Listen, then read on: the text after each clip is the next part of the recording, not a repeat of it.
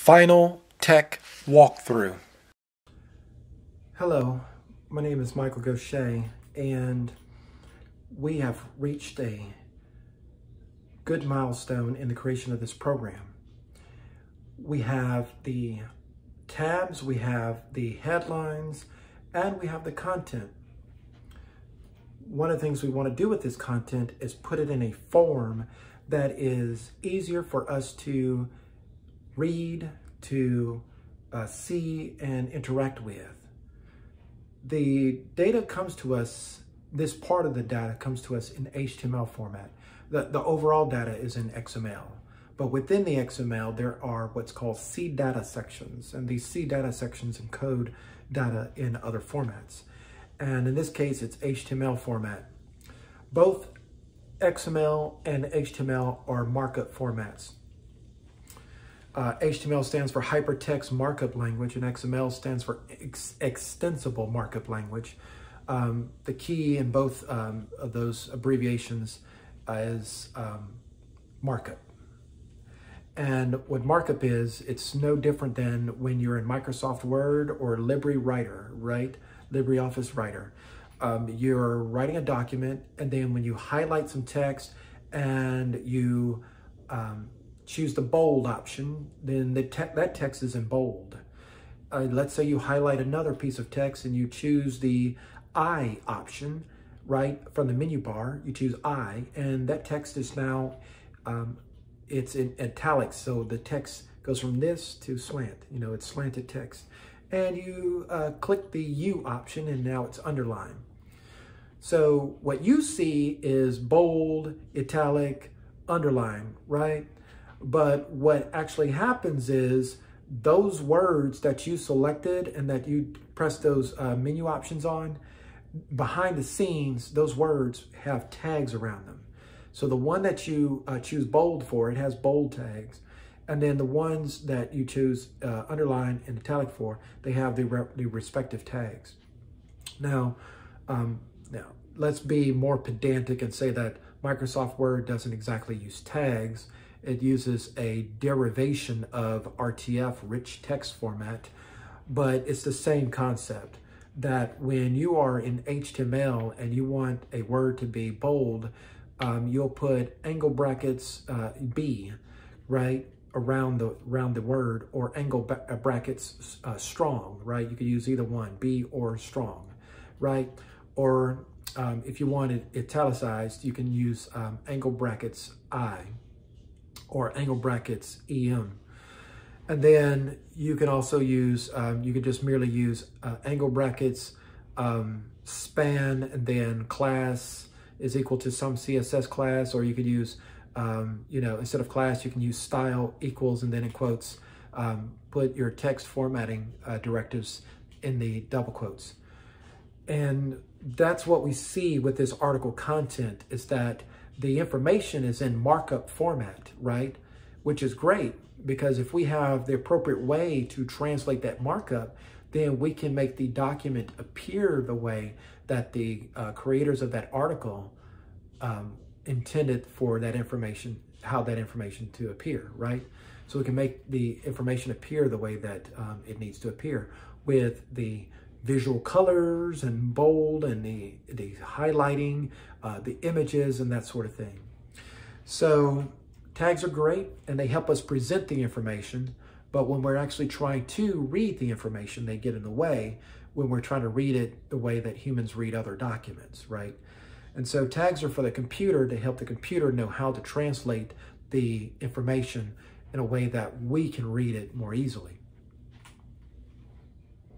So we need a way to use this HTML markup. We need an API because if you look at the other conversations I've had, we're using the API approach in this process. And we need an API that's going to assist us with that translation. And so I went through Help Viewer and I went through the documents. I went through the uh, API documents for uh, WPF. And what I found was the web browser control. The web browser control is, and there's quite a bit of technical information behind that, right? Um, it uses the, the um, system's web browser and that's how it accomplishes the translation. But basically, there's a function on this web browser control where we can feed in this content into this function, and then out the other side is information rendered on the screen in a readable format. It's absolutely fabulous. Uh, WebKit GTK has um, the web WebView class, right? The WebKit uh, GTK WebView class um, that does the exact same thing, right? It's the same concept. So um, having developed something similar in Linux, right? A similar RSS reader program in Linux, I kind of knew what to look for. And so that's what I went for. Um, I personally would have preferred a different method. I really would have preferred a different method, um, right? Uh, I don't like using uh, web browser controls. But in this particular process, it allowed us to streamline the process of getting the HTML encoded information into a readable format um, that we uh, normally associate with human reading. And so um, it's, it's a very convenient um, widget to have, user interface widget to have, and it's going to allow us to put the final touch on this example program written in Microsoft.NET and C Sharp using the WPF framework and get us to where we want to be. The WPF framework has a web browser class that allows you to take HTML marked up content and present it on the screen in a nice readable way.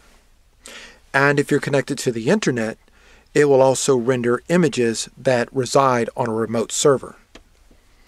I went through the WPF documentation for the web browser class looking for the best way to plug in the HTML markup content that was coming from the RSS feed data stream that I had stored in the SQL Server database. After reviewing this document for a couple of minutes, I saw navigate to string looks very promising. Based on the documentation, I feed in a HTML fragment or a full HTML document markup and the web browser control as a visual element part of a window will show that HTML markup in the proper way. So I already have a variable declared for article text, for the article content. And all I have to do now is modify it so that it uses an instance of the web browser class, or it instantiates an instance of the web browser class.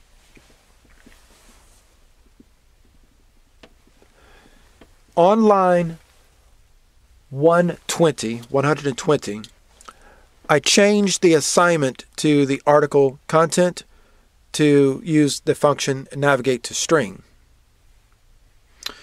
So I build the program and then run the program to see if this small change is all I needed.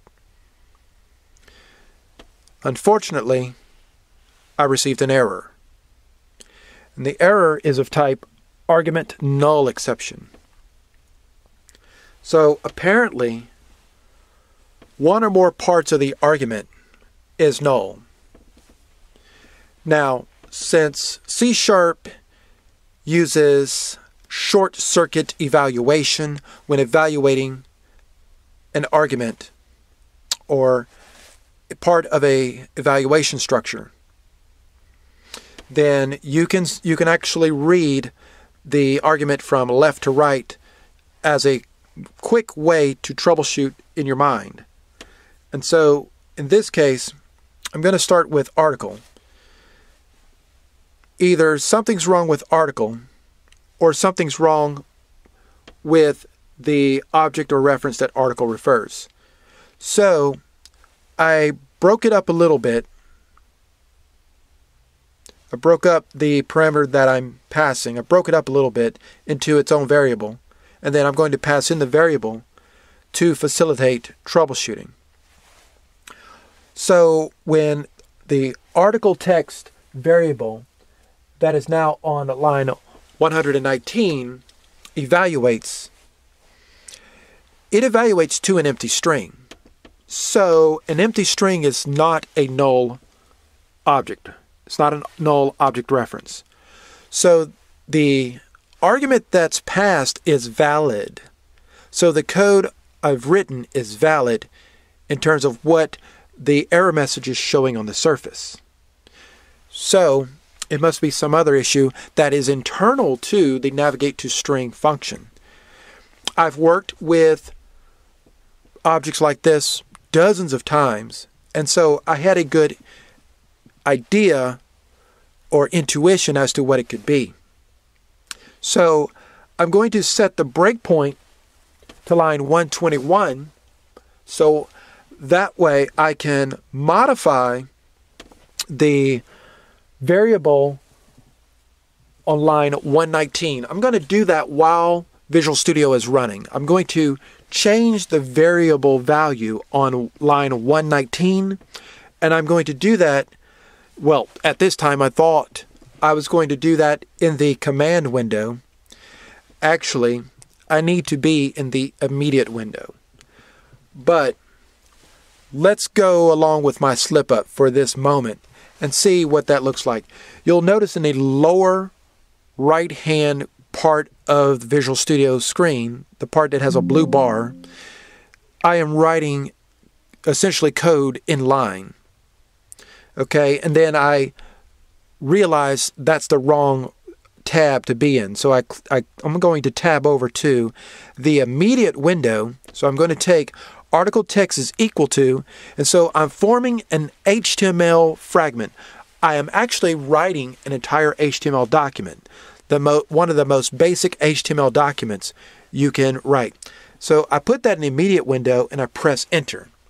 And that executes the code as if that code was written in the actual code file itself. And so I've essentially changed, if you look in the lower left hand corner, the part that's highlighted red, you'll see that article text is now changed. So now that I've changed that, I can run that line of code and then I run it down to line 124. Notice no error. Everything's fine. So what that means is navigate to string expects a full HTML document that's properly formatted, even if that HTML document shows nothing.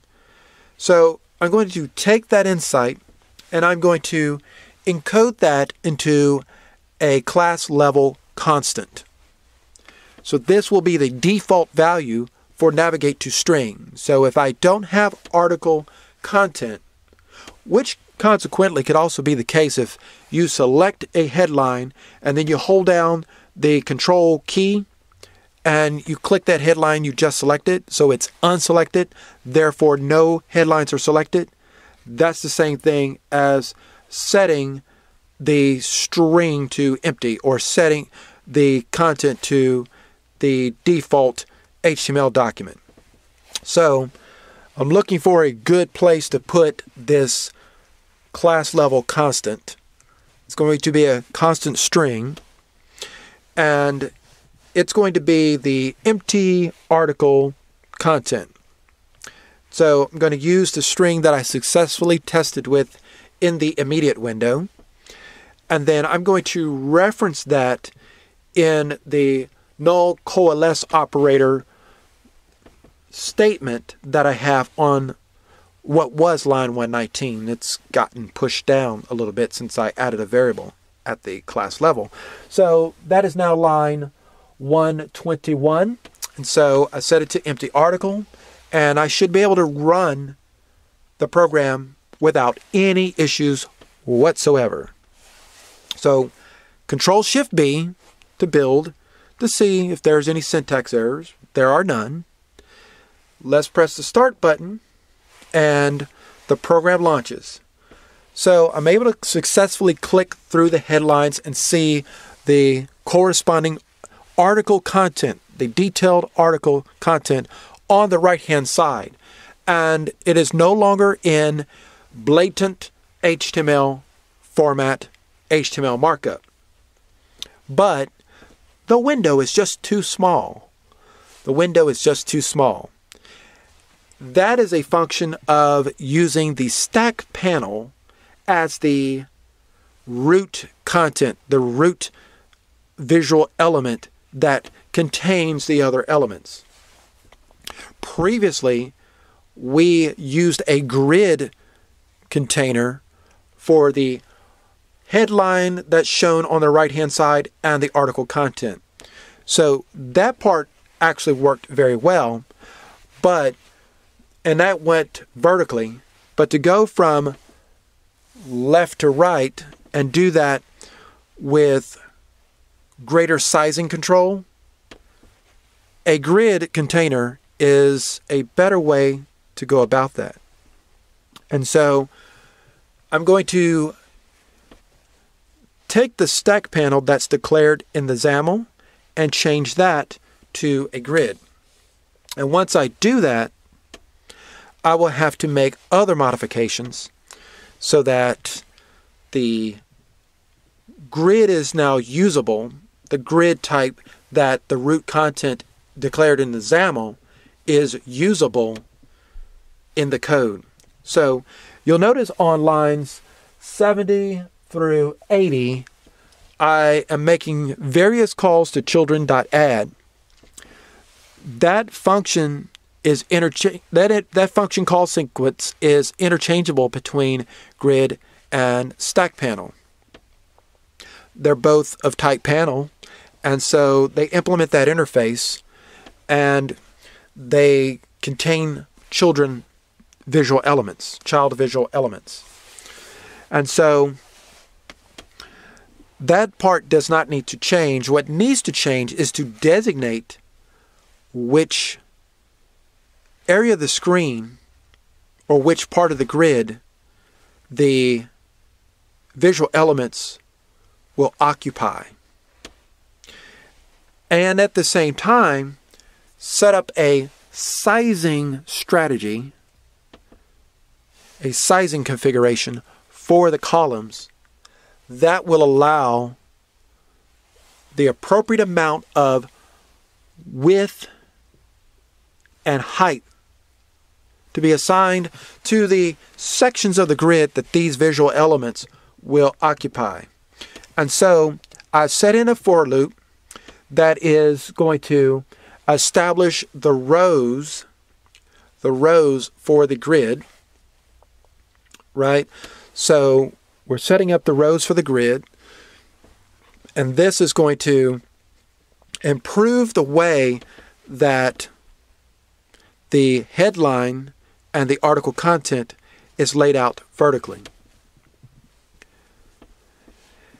And although I showed this particular process in a brief way in a previous video, this is a fuller explanation. So for each item that we have going vertically, we're going to have a row definition object. This row definition object will establish a space that one or more visual elements can occupy. I typically do only one visual element per row definition. And so you'll see on the right hand side of the screen, we got a better uh, expression of the headline and the article content as we click through headlines. So, vertically, on the right hand side, vertically, we are in great shape. We are in tremendous shape. Everything is shaping up very well. But what we want to do next is shape that left to right sequence. So, on line 14 in the XAML, in the XAML file that accompanies the C sharp code behind file, I change the type to grid and I remove the orientation equals vertical, horizontal. And I remove that because orientation is not a relevant concept for the grid. The grid is more granular and gives you more control over the layout than the stack panel does. And so I am clarifying the various sections of the grid and I'm adding in the definition that goes from left to right. So these are column definitions. Notice that you don't have to say that a given row or a given column is a certain height for all rows and all columns. You can use logic like I do here, where I can vary the width and height depending on which row or column I am on or other conditions. And that's the power of doing this through the WPF API rather than in XAML. And you can see that we have a full screen full of content and everything is laying out the way that it did in the Linux version of the program. Remember from the earlier video, particularly the UI requirements video, where we had our snapshot. So we've reached a great milestone, and let's celebrate this milestone with a git commit. Let's save our changes so that we have everything ready to go. And now that that program is built, I have connected to Wi Fi and I want to run this program outside of Visual Studio. So to do so, I go to the actual folder on the C drive in Windows 11 where this program actually resides as we were building it. So you see six files there. Well, three of those files are older files from when in an earlier video you saw that we had named the project the wrong name. And so there was a misspelling. So when I renamed the Visual Studio project, the name of the Visual Studio project helps generate the actual name of the executable. So we got rid of the old executables and let's just use the most current one that we've been building through Visual Studio. So this is the actual program file and we're going to run it directly by clicking open.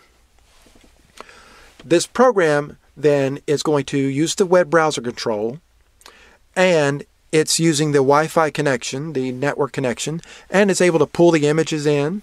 It's able to pull in the relevant, relevant formatting. It does a number of things for us automatically.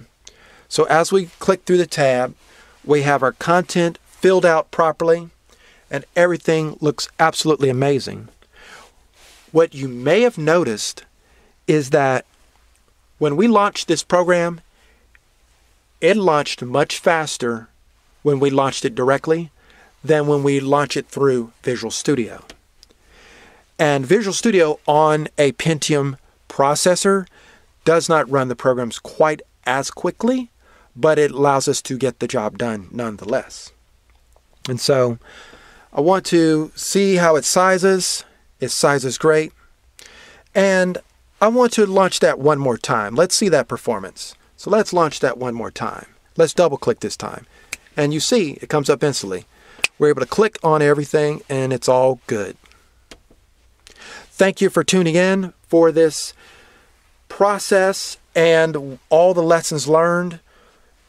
We will explore the overview of how this all went in the final video, video 15, where we talk about creating an RSS reader in C Sharp and .NET on a computer with an Intel Pentium processor and 4 gigabytes of RAM.